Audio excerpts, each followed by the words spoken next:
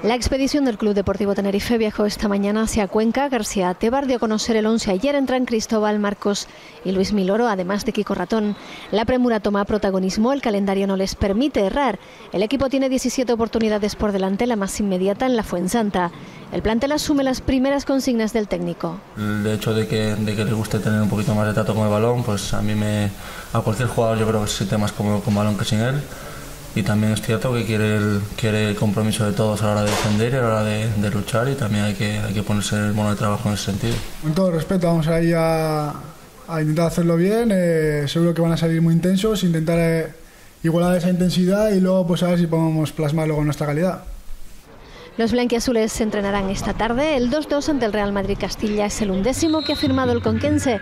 Ganó dos partidos y perdió ocho. Un balance que intentan mejorar con incorporaciones. Además del técnico que ya dirigió a su equipo en Valdebebas, cuentan con Samuel y tras la baja de Moreno ayer por la tarde ingresó otro canario, Adai Benítez, y el centrocampista Casabello.